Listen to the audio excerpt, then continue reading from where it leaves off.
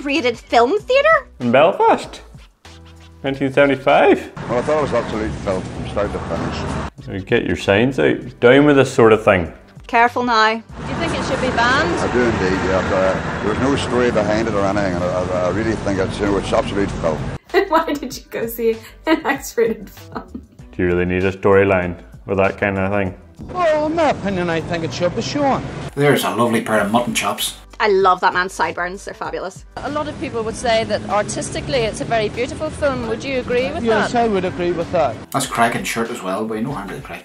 This guy's a dedicated follower of fashion, this. Anybody under 18 shouldn't watch it, you know.